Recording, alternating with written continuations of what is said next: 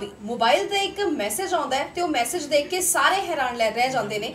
ਇੱਕ ਦੂਜੇ ਨਾਲ ਉਹ ਮੈਸੇਜ ਸ਼ੇਅਰ ਕਰਨਾ ਸ਼ੁਰੂ ਕਰ ਦਿੰਦੇ ਨੇ। ਉਸ ਮੈਸੇਜ ਵਿੱਚ ਹੈ ਹੀ ਕੁਝ ਅਜਿਹਾ ਕਿ ਸਾਰੇ ਖੁਸ਼ ਹੋ ਗਏ ਨੇ ਤੇ ਨਾਲ ਸਾਰੇ ਹੈਰਾਨ ਵੀ ਹੋ ਗਏ ਨੇ।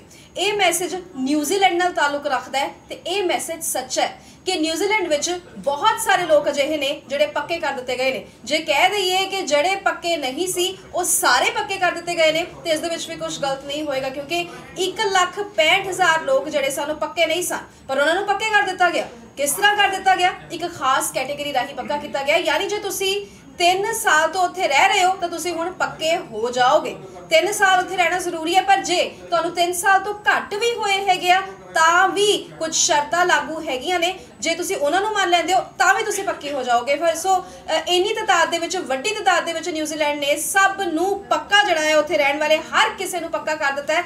ਕਮਾਲ ਕਰ ਦਿੱਤੀ ਹੈ ਨਿਊਜ਼ੀਲੈਂਡ ਨੇ ਪੀਐਮ ਜਸਿੰਡਾ ਆਰਡਨ ਨੇ ਸਭ ਨੂੰ ਪੱਕਾ ਕਰਕੇ। ਤੁਹਾਨੂੰ ਦੱਸ ਦਈਏ ਕਿ ਸਕਿਲਡ ਮਾਈਗ੍ਰੈਂਟ 2021 ਰੈਜ਼ੀਡੈਂਸ ਵੀਜ਼ਾ ਦੀ ਕੈਟਾਗਰੀ ਜਿਹੜੀ ਹੈ ਖੋਲੀ ਗਈ ਹੈ ਤੇ ਇਸ ਕੈਟਾਗਰੀ ਅਧੀਨ ਆ ਕੇ ਤੁਹਾਡੇ ਪੱਕੇ ਹੋਣ ਦਾ ਰਸਤਾ ਪੂਰਾ ਦਾ ਪੂਰਾ ਸਾਫ਼ ਹੋ ਜਾਏਗਾ। ਸੋ ਨਿਊਜ਼ੀਲੈਂਡ ਵਿੱਚ ਜਿਹੜੇ ਪੱਕੇ ਲੋਕ ਨਹੀਂ ਸਨ ਸਕਿਲਡ ਕੈਟਾਗਰੀ ਦੇ ਅੰਦਰ ਸਨ ਤੇ ਚਾਹ ਰਹੇ ਸਨ ਕਿ ਉਹ ਪੱਕੇ ਹੋਣ, ਪਰ ਉਹਨਾਂ ਨੇ ਕਈ ਲੋਕ ਤੇ ਅਜਿਹੇ ਵੀ ਜਿਨ੍ਹਾਂ ਨੇ ਆਪਣਾ ਬੋਰੀਆ ਬਿਸਤਰਾ ਪੈਕ ਕਰ ਲਿਆ ਸੀ ਕਿ ਵਾਪਸ ਆਉਣਾ ਹੈਗਾ, ਕਿਉਂਕਿ ਕਰੋਨਾ ਕਾਲ ਦੇ ਵਿੱਚ ਬਹੁਤ ਕੁਝ ਮਾੜਾ ਹੋਇਆ, ਬਹੁਤ ਕੁਝ ਮੰਦਭਾਗਾ ਹੋਇਆ, ਬਹੁਤ ਸਾਰੇ ਲੋਕਾਂ ਦੀਆਂ ਨੌਕਰੀਆਂ ਚਲੀਆਂ ਗਈਆਂ।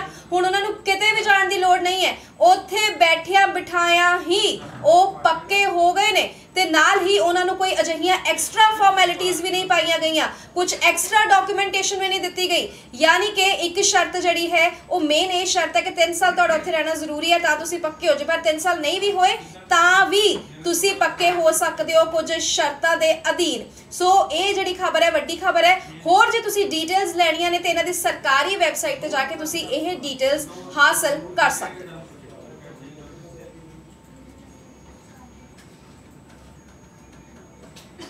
ਆ ਗਿਆ ਨਹੀਂ ਕਿ ਯਾਰ ਸਾਰਿਆਂ ਨੂੰ ਕੈਨੇਡਾ ਜਾਣਾ ਪੈਣਾ ਇੱਥੇ ਇਹਨਾਂ ਨੇ ਪੱਕੇ ਨਹੀਂ ਕਰਨਾ ਯੂਆਈਆਂ ਵੀ ਨਹੀਂ ਖੋਲਣੀਆਂ ਉਹ ਪਤਾ ਨਹੀਂ ਕੀ ਹੋਇਆ ਯਾਰ ਅੱਜ ਸਾਰੇ ਹੀ ਬੰਦੇ ਜਿਹੜੇ 3 ਸਾਲ ਤੋਂ ਪਹਿਲਾਂ ਆਏ ਨਾ ਸਾਨੂੰ 8-8 ਸਾਲ ਹੋ ਗਏ ਨਿਊਜ਼ੀਲੈਂਡ 'ਚ ਸਾਰੇ ਜਾਣਿਆਂ ਨੂੰ ਪੱਕੇ ਕਰਤੇ ਯਾਰ ਵਧਾਈ ਹੋਵੇ ਸਾਰਿਆਂ ਵੀਰਾਂ ਨੂੰ ਜਿਹੜੇ ਜਿਹੜੇ ਪੱਕੇ ਹੋਏ ਆ ਬਹੁਤ ਬਹੁਤ ਕੰਗ੍ਰੈਚੁਲੇਸ਼ਨਸ ਸਾਰਿਆਂ ਨੂੰ। ਤੇ ਆ ਮੇਰੇ ਲਾਗੇ ਜੋਲੀ ਬੈਠਾ ਆ ਦੇਖੋ। ਤੇ ਜੋਲੀ ਵੀ ਨਹੀਂ ਹੈਗਾ। ਹੈ ਭਰਾਵਾ ਜੋਲੀ ਪੱਕਾ ਸਾਨੂੰ ਸਵੇਰ ਦੇ ਲੱਖੇ ਦੇ ਰ ਇੰਨੇ ਫੋਨ ਆ ਗਏ ਸਵੇਰ ਦਾ ਫੋਨ ਕਰਕੇ ਉਹ ਪੱਕੇ ਹੋ ਗਏ ਪੱਕੇ ਹੋ ਗਏ। ਜੇ ਯਕੀਨ ਹੀ ਨਹੀਂ ਆ ਰਿਹਾ ਸਾਲਾ ਵੀ ਇਹ ਸੱਚੀ ਪੱਕੇ ਹੋ ਗਏ ਭਰਾਵਾ ਹਜੇ ਸੱਚੀ ਸੌਂ ਲੱਗੇ। ਇੰਨੀ ਖੁਸ਼ੀ ਸਵੇਰੇ ਉੱਠਦੇ ਹੀ ਆਹੇ ਆ ਮੂੰਹ ਵੀ ਨਹੀਂ ਧੋਤਾ ਜੇ ਕੁਝ ਵੀ ਨਹੀਂ ਕੀਤਾ। ਇਹ ਤਾਂ। ਭਰਾਵਾ ਵਿਆਹ ਵਾਲਾ ਕੰਮ ਹੋ ਗਿਆ ਜਿਵੇਂ ਵਿਆਹ 'ਚ ਨਹੀਂ ਬਹਿ ਜਾਂਦੇ ਐਂ ਮੰਜਾ ਢਾ ਕੇ ਬਹਿ ਗਏ ਬਸ ਵੀ ਸਾਰੇ ਇਕੱਠੇ ਹੋ ਕੇ ਖੁਸ਼ੀ ਮਨਾ ਰਹੇ ਹੁਣ ਤਾਂ। ਸਹੀ ਗੱਲ ਆ ਯਾਰ ਬਾਕੀ ਸਾਰਿਆਂ ਨੂੰ ਬਹੁਤ ਬਹੁਤ ਵਧਾਈ ਭਰਾਵਾ ਜਿੱਦਾਂ ਵੀ ਸਾਰੇ ਜਣੇ ਪੱਕੇ ਹੋ ਗਏ ਸੱਚੀ ਭਰਾਵਾ ਕਹਿੰਦੇ ਬਾਰੀ ਸਾਲੀ ਨਾ ਰੂੜੀ ਦੀ ਵੀ ਸੁਣੀ ਜਾਂਦੀ ਆ। ਉਹ ਕੰਮ ਸਾਡਾ ਹੋਇਆ ਸਾਡੀ ਵੀ 7 8 8 ਸਾਲ ਹੋ ਗਏ ਸਾਡੀ ਵੀ ਸੁਣੀ ਗਈ ਅੱਜ ਤਾਂ ਬਸ। ਆ ਗਿਆ ਨਹੀਂ ਕਿ